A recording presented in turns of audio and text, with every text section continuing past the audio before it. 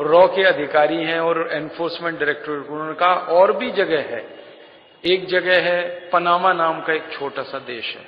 वहाँ भी पैसा है भारतवासियों का। एक छोटा सा देश है, उसका नाम है गिनी बिसाऊ वहाँ पे भी है। एक देश है, उसका नाम है लीचेस्टन, वहाँ पे भी है। तो दूसरे अन्य बैंकों में 35 लाख करोड़ और रखा हुआ है। माने कुल मिलाकर 110 लाख करोड़ रुपए जमा है। और पिछले बासठ साल में इतना ही धन पंचवार्षिक योजनाओं के लिए आवंटित हुआ है। इतना ही पूरा इन्होंने लूट के जमा कर रखा है। फिर आप बोलेंगे कि अगर सारा का सारा धन लूट के इन्होंने जमा कर रखा है तो पिछले बासठ साल में थोड़ा बहुत जो विकास का काम हुआ है, कुछ सड़कें बनी हैं, कुछ पुल बने हैं, कुछ फ्लाईओवर बने हैं कुछ तो हुआ है ना, कुछ कॉलेज बने हैं, कुछ कारखाने लगे हैं। ये कहाँ से हुआ है फिर? तो इस पर जब हमने अध्ययन किया तो पता चला ये सब कर्जे से किया है।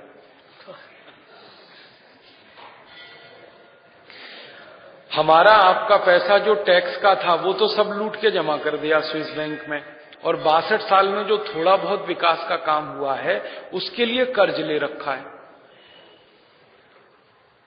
केंद्र सरकार ने कर्ज लिया हुआ है 18 लाख करोड़ का। और जो राज्य सरकारें हैं, जैसे मध्य प्रदेश, जैसे राजस्थान, जैसे सब, इन्होंने 31 राज्य सरकारों ने ले रखा है और 16 लाख करोड़ का। तो लगभग 32 लाख करोड़ इतना कर्ज ले रखा है। उस कर्जे से ये काम हुआ है जो दिखाई देता है आपको। एक सड़क बनी है ना, जिसको कहते हैं प्रधानमंत्री सड़क योजना। गोल्डन क्वेडिलेटरल, स्वर्णिम चतुर्भुज, ये पूरा कर्ज से बना है। आप कभी कभी अखबार में पढ़ते हैं, दिल्ली में मेट्रो रेल चलती है, वो पूरी कर्ज से बनी जापान से कर्ज लिया ये सड़कें बनाने के लिए अमेरिका, यूरोप के देशों से कर्ज लिया है।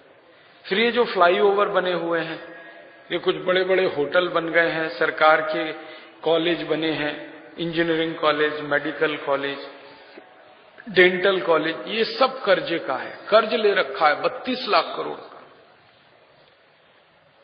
और अभी मुझे एक और बात पता चली कि केंद्र सरकार, राज्य सरकार ने बत्तीस लाख करोड़ का ले रखा है, म्यूनिसिपल कॉरपोरेशंस ने दो लाख करोड़ का कर्ज ले रखा है, पूरे देश में। अभी तो मैं थोड़े दिन पहले कर्नाटक गया था। कर्नाटक में एक जिला है, उसका नाम है उडुपी। उडुपी ज़िले में एक गाँव है, उसका नाम है पुत्तूर। उस गाँव की ग्राम पंचायत ने विदेशी कर्ज ले रखा है। पुत्तूर ग्राम की ग्राम पंचायत के सरपंच को मैंने पूछा, भैया, तुमने ये विदेशी कर्ज क्यों ले लिया? तो उसने कहा कि जब प्रधानमंत्री ले सकता, मैं क्यों नहीं ले सकता? वो देश का प्रधानमंत्री है, मैं गाँव का प्रधानमंत्री। मैं भी ले सकता हूँ। मैंने कहा, तुम्हारी जुगाड़ कैसे लगी ये कर्ज लेने की? कैसे कनेक्शन बना तुम्हारा? तुम वर्ल्ड बैंक कैसे पहुँच गए? एशियन डेवलपमेंट बैंक कैसे पहुँच गए? तो उन्होंने कहा कि ये जो सरकार के अधिकारी कर्ज लेने जाते हैं, इन्हीं से मेरी दोस्ती हो गई। इन्होंने मुझे बता दिया। मैंने एप्लीकेशन दे दिया एशियन डेवलपमेंट बैंक में उन्होंने कर्ज दे दिया। मैं बोला, ऐसे ही दे दिया? उसने कहा, नहीं, पूरे गाँव की संपत्ति गिरवी रख के मैंने कर्ज ले लिया।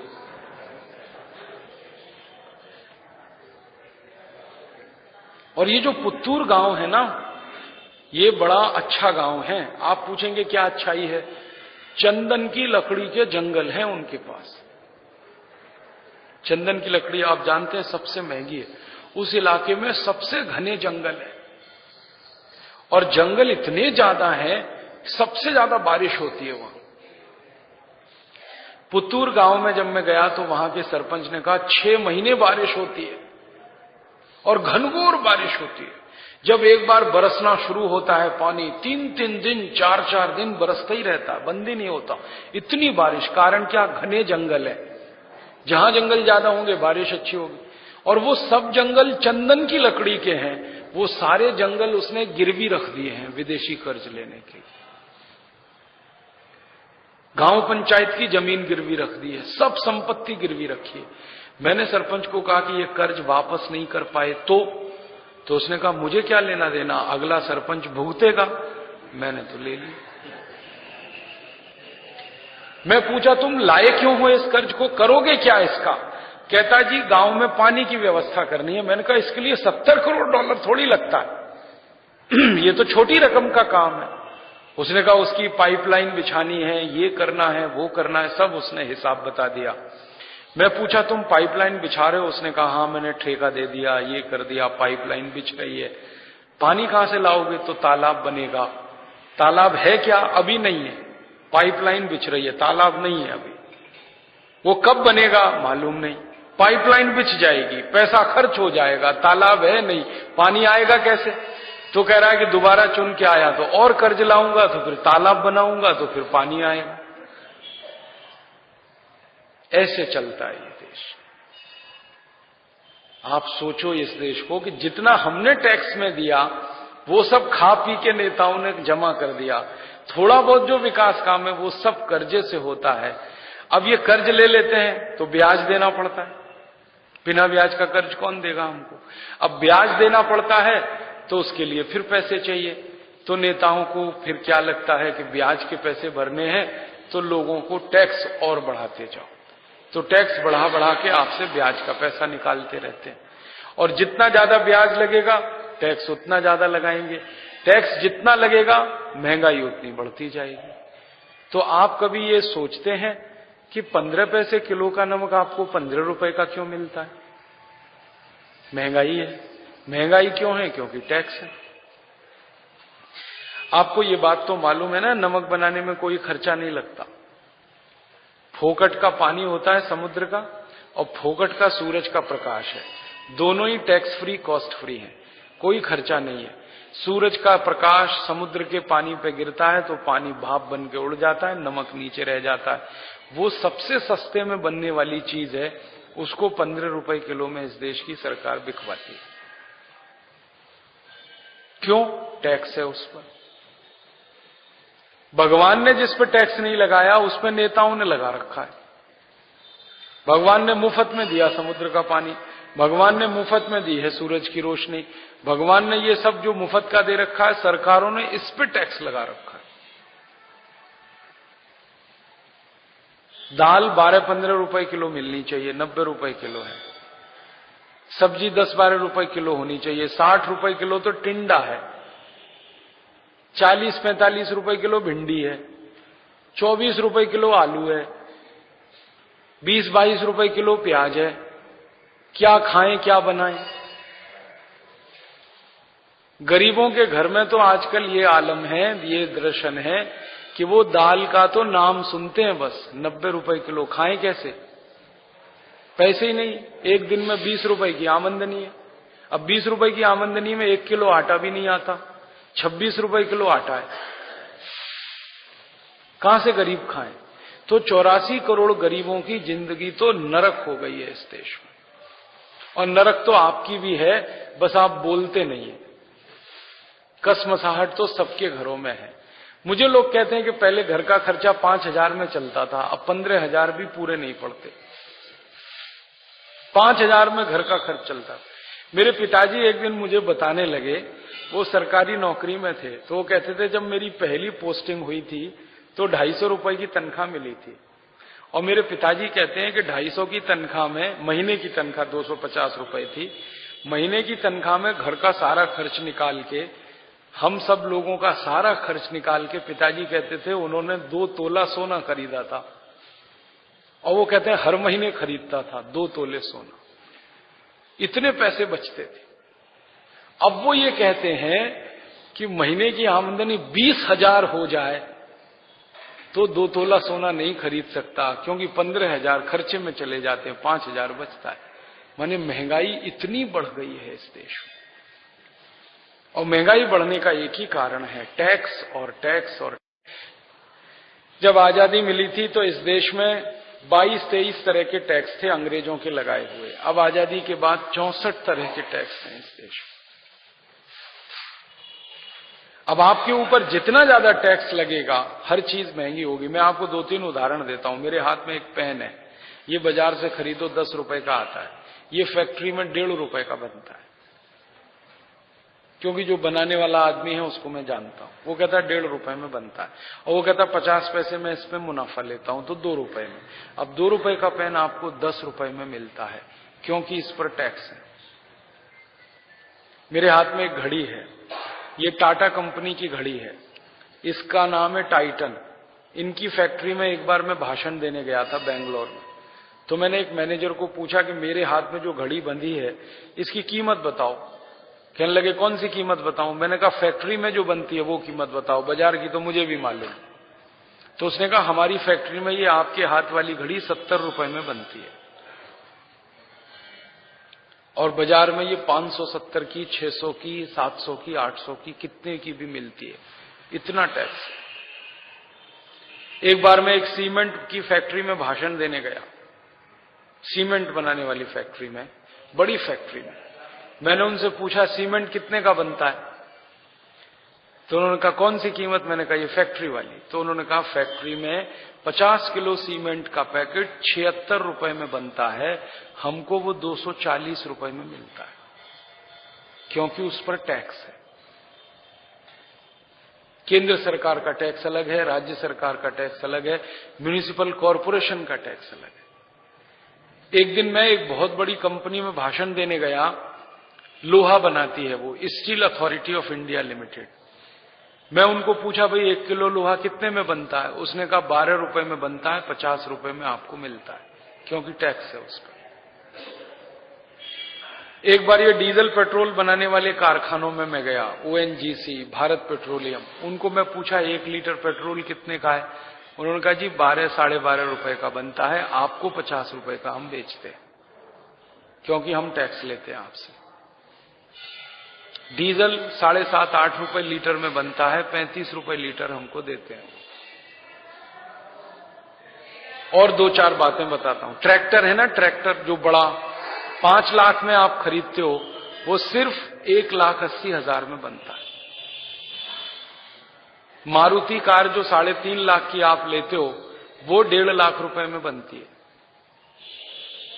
मैंने ऐसी हज़ारों वस्तुओं का कैलकुलेशन किया कि उनके बनाने की लागत कितनी है, जिसको अंग्रेज़ी में कहते हैं कॉस्ट ऑफ़ प्रोडक्शन और भारत सरकार कहती है एक्स फैक्ट्री प्राइस माने फैक्ट्री में बनाने में कुल खर्चा कितना लगता है, वो मामूली से खर्चा है।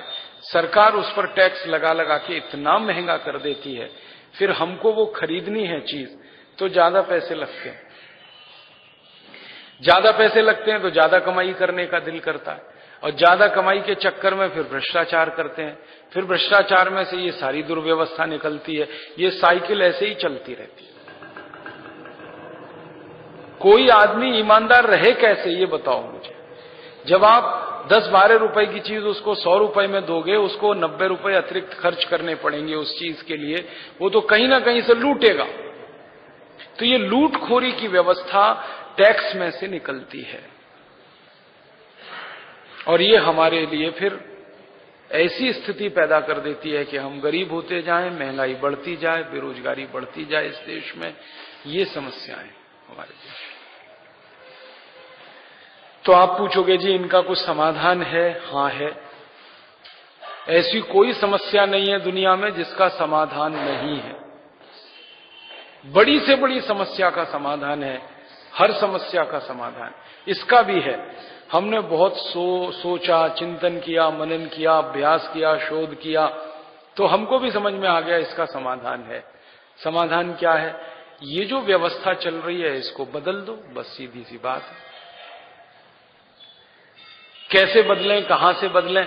तो पहला कदम हमने उसके लिए तय किया भारत स्वाभिमान अभियान की तरफ़ से कि इस व्यवस्था को हम बदलेंगे।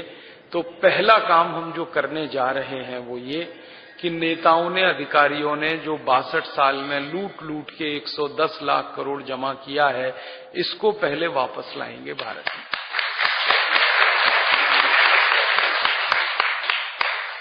ये स्विस बैंकों में है, विदेशी बैंक। इसको वापस लाए। क्योंकि ये हमारा पैसा है, आपका पैसा है। अब आप बोलेंगे, आएगा कैसे? ऐसा कोई रास्ता है? रास्ते हमको मिल गए हैं चार। एक नहीं, चार रास्ते मिल गए। वो कहते हैं ना, जो लोग अपनी मदद करते हैं, भगवान भी उनकी मदद करता भगवान ने हमको चार रास्ते बता दिए। अकल आ गई हमको, रास्ते दिख गए। पहला रास्ता ये है कि ये जो सारा धन जमा है ना, विदेशी बैंकों में, ये जमा है निजी संपत्ति के रूप में, प्राइवेट प्रॉपर्टी, निजी संपत्ति। किन की? नेताओं और अधिकारियों की। अगर इस पैसे को निजी संपत्ति से राष्ट्रीय संपत्ति बना दिया जाए तो ये वहाँ रह ही नहीं सकता पैसा। क्योंकि स्विस बैंकों में और दुनिया के दूसरे बैंकों में कानून है कि किसी भी देश के राष्ट्रीय संपत्ति विदेशी बैंकों में नहीं रख सकते। ये कानून है। राष्ट्रीय संपत्ति राष्ट्रीय बैंक में ही रख सकते हैं। हमारे भारत की संपत्ति है तो हम रिज़र्व बैंक में रख सकते हैं। हमारे भारत की संपत्ति है तो स्टेट बैंक में रख सकते हैं। हमारे भारत की संपत्ति है तो पंजाब नेशनल में रख सकते हैं, विदेशी बैंकों में नहीं रख सकते। लेकिन निजी संपत्ति है, वो कहीं भी रख सकते हैं। यहाँ रख सकते हैं, बाहर रख सकते हैं। तो ये पैसा नेताओं ने निजी संपत्ति घोषित करके रखा हुआ है। हम इस पैसे को राष्ट्रीय संपत्ति बनाना चाहते हैं। तो आप बोलेंगे, कैसे होगा? एक कानून बनाने से ये हो जाएगा। संसद में एक कानून बनाना पड़ेगा। वो कानून ये कहेगा कि 15 अगस्त उन्नीस सौ सैंतालीस के बाद जो भी धन भारत से लूटा गया, विदेशी बैंकों में जमा किया गया, वो भारत की राष्ट्रीय संपत्ति है। इसका प्रस्ताव संसद में पेश करना है। जब प्रस्ताव पेश होगा तो बहस होगी। बहस पर हम देखेंगे कि कौन कौन इसका विरोध कर रहा है।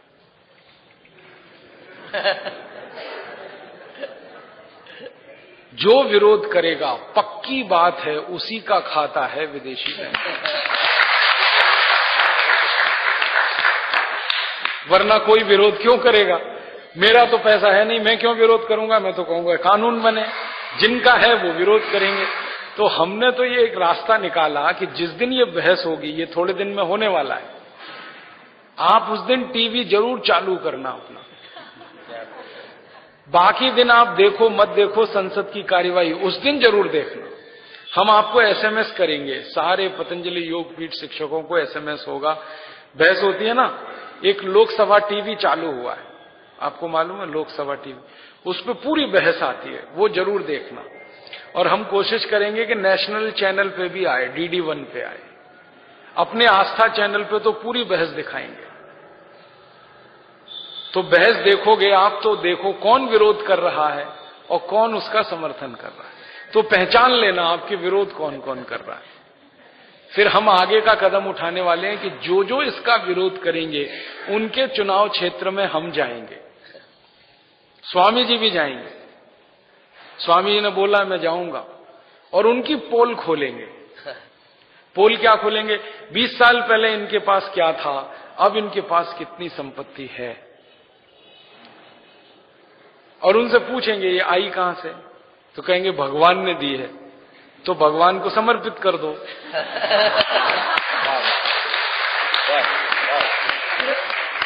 भाई, यही तो कहेंगे ना, भगवान ने दी है तो भगवान को समर्पित कर दो। और भगवान जिसको देंगे, उसको देंगे। भगवान देश के लिए कहेंगे तो देश का खर्चा करेंगे उसमें से। तो ऐसे करके ये एक रास्ता है, संसद से कानून बनाने का। दूसरा, आप ये बोलोगे, ये मानेंगे ही नहीं। मान लो संसद में सब विरोध करेंगे, एक भी समर्थन नहीं करे, ऐसा भी हो सकता है। बिल्कुल हो सकता है। सबके सब विरोध करें, एक भी हमारी बात का समर्थन ना करे, तब क्या करेंगे हम? तब हमने दूसरा संकल्प लिया है कि फिर एक नई संसद हम बनाएँगे।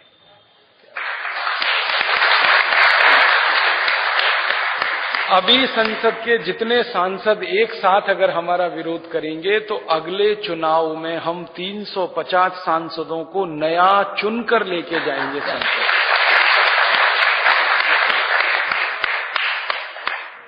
और जो नए सांसद चुन के आएँगे, वो समाज के ऐसे लोग होंगे जो ईमानदार, कर्मठ, निष्ठावान, जिनके जीवन में अंदर बाहर सब एक जैसा है।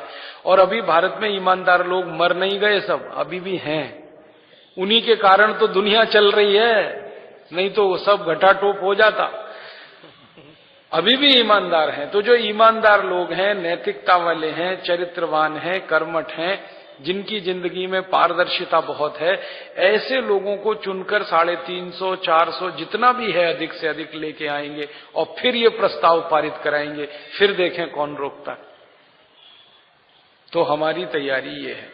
और हमने तो यहाँ तक तैयारी की है कि संसद में ही नहीं, विधानसभाओं में 31 राज्यों की सब नए विधायकों विधायकों को चुन के लाए।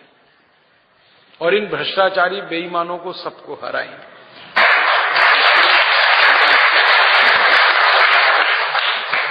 जनता हमारा साथ देगी, इसका हमें भरोसा है। क्यों? क्योंकि हमारा जो नेता है, वो एक सन्यासी है। इसलिए जनता साथ देगी। सन्यासी की इस देश में सबसे बड़ी इज़्ज़त है। आपको तो मालूम है, इस देश में सन्यासी आ जाए तो राजा सिंहासन छोड़ के खड़ा हो जाता है। इतनी इज़्ज़त है इस देश में। और कोई ऐसे ही सन्यासी नहीं हो जाता। बहुत तपस्या लगती है, बहुत तप लगता है। तो परम पूजनीय स्वामी रामदेव जी का जो तप है, जो उनकी तपस्या है, ये तपस्या हमारा सहयोग करेगी। तो वो तैयारी है हमारी। और 31 राज्यों की विधानसभाओं को भी बदल देंगे। ज़रूरत पड़ेगी तो नगर पालिकाओं को भी बदल देंगे, नगर पंचायतों को बदल देंगे। और ज़रूरत पड़ी तो ग्राम सरपंचों को बदल देंगे। नीचे से ऊपर तक सब नए लोग। ये दूसरा रास्ता है। तीसरा एक रास्ता और है अपने पास। वो रास्ता ये है कि सुप्रीम कोर्ट में इस मामले में मुकदमा किया जा सकता है। एक मुकदमा तो अभी हो गया। आपने पढ़ा होगा अखबार में, स्विस बैंक का पैसा वापस लाने के लिए एक मुकदमा हो गया। उसमें वकील हैं राम जेठ मलानी आप जानते हैं राम जेठ मलानी उस मुकदमे में सरकार को नोटिस चला गया। सरकार इस समय घबराई हुई है। इतनी घबराई हुई है कि एक दिन प्रधानमंत्री ने स्वामी जी को फ़ोन किया कि या तो आप दिल्ली आइए, नहीं तो मैं आता हूँ आपके पास।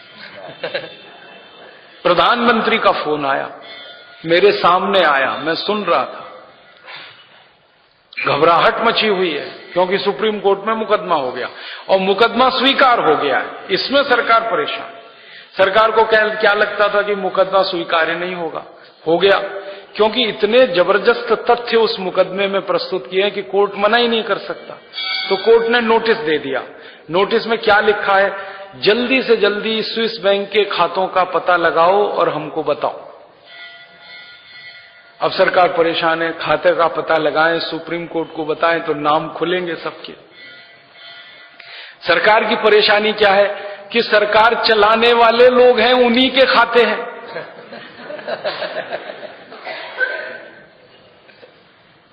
तो उन्होंने पता है स्वामी जी को क्या कहा? आप थोड़ा समय दे दो हमको। दो चार महीने, छह महीने। तो स्वामी जी ने कह दिया, अनंत काल का समय तो नहीं दे सकते आपको। दो महीने, चार महीने अगर आपको लगता है तो आप ले लो, लेकिन ये तो बताना ही पड़ेगा, खाते किसके हैं, पैसा किसके तो सुप्रीम कोर्ट में मुकदमा चला गया। अब इस मुकदमे में सुनवाई जैसे जैसे चलेगी वैसे वैसे मामला आगे बढ़ेगा। आपको भी खबरें आती रहेंगी, टीवी पे देखते रहो, अखबार पढ़ते रहो, ध्यान रखो इन खबरों पे। इसमें आगे हम क्या करने वाले हैं कि सुप्रीम कोर्ट को अगर सरकार ने नहीं दिया तो हम देंगे। हम क्या देने वाले हैं?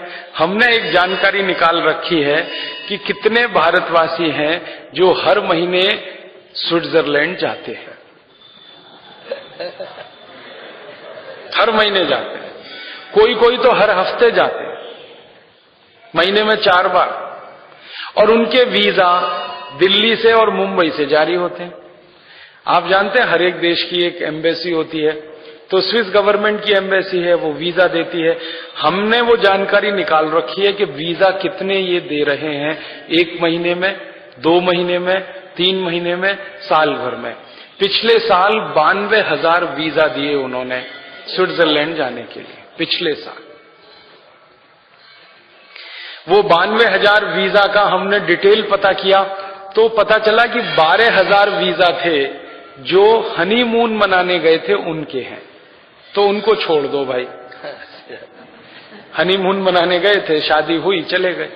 कई लोग जाते हैं स्विट्जरलैंड सुंदर है ये सोच के जाते हैं। उन बारह हज़ारों में से कई लोगों से हमने पूछा कि आप बार बार जाते हैं? उन्होंने कहा हम तो एक बार गए थे भाई। दोबारा गए नहीं क्योंकि मज़ा नहीं आया। मैं पूछा क्यों? उन्होंने कहा उससे सुंदर तो जम्मू कश्मीर है। तो मैंने कहा पहले समझ में नहीं आया। उन्होंने कहा जब गए तब समझ में आया। दूर के ढोल सुहावने होते हैं। तो हमको ऐसा लगा कि स्विट्जरलैंड बहुत सुंदर है लेकिन गए तो पता चला उससे ज़्यादा सुंदर तो अपना देश है। तो हम तो दोबारा गए नहीं तो पक्का है कि उनका कुछ खाता वाता नहीं है। लेकिन जो हर हफ़्ते जा रहे हैं महीने में चार चार बार जा रहे हैं पाँच पाँच बार जा रहे हैं पक्का है वो तो हनीमून वाले लोग नहीं तो उनके बारे में जानकारी निकाल रखी है। और सुप्रीम कोर्ट को हम ये जानकारी देंगे। तब सुप्रीम कोर्ट सरकार को कहेगा कि चलो इनकी जाँच करो। तो झक मार के अब करना ही पड़ेगा। सरकार फंस गई है अब इस मामले और इस सरकार ने वायदा भी किया है। आपको मालूम है, ये सरकार जो चल रही है, इसके एक नेता है, उनका नाम है राहुल गांधी। उन्होंने ऐलान किया था चुनाव के पहले, वो रिकॉर्ड करके हमने रखा है। इन्होंने कहा था कि अगर हमारी सरकार बनी तो हम स्विस बैंक का पैसा लाएँगे। और अडवाणी ने भी कहा था, याद है लाल कृष्ण अडवाणी ने, कि हमारी बनी तो हम भी लाएँगे। फिर एक ऐलान किया था शरद यादव ने कि हमारी सरकार बनी तो हम लाएँगे। फिर एक ऐलान किया सीताराम येचुरी और प्रकाश करात ने कि हमारी बनी तो हम लाएँगे। तो ये सब ऐलान कर चुके हैं। तो हम तो उनको याद दिलाने वाले हैं कि आपने बोला था पैसे लाएँगे, सरकार बन गई है, अब लाओ।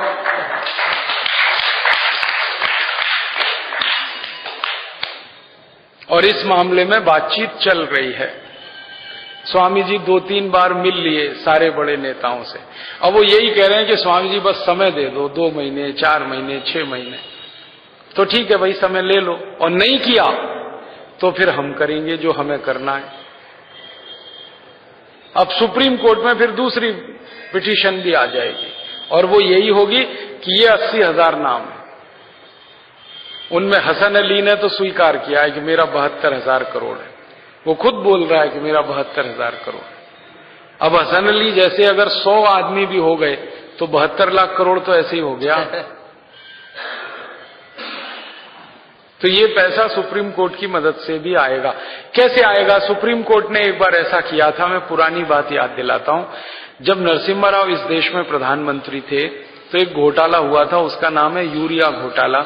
उसमें 133 करोड़ रुपए का पेमेंट हुआ यूरिया नहीं आया। पैसे चले गए, यूरिया नहीं आया। जाँच हुई तो पता चला वो पैसे नरसिम्हा राव के बेटे के खाते में जमा है। तो सुप्रीम कोर्ट ने खाता जब्त करा दिया। वो खाता स्विट्जरलैंड की बैंक में था।